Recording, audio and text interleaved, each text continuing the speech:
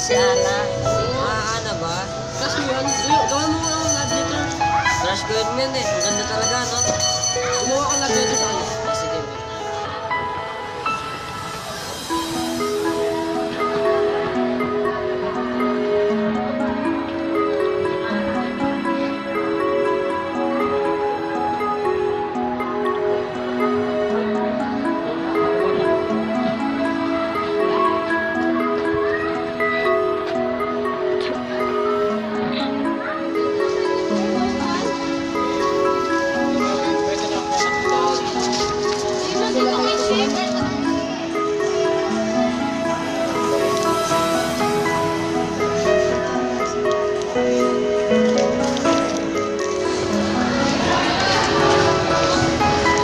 Pinapunta.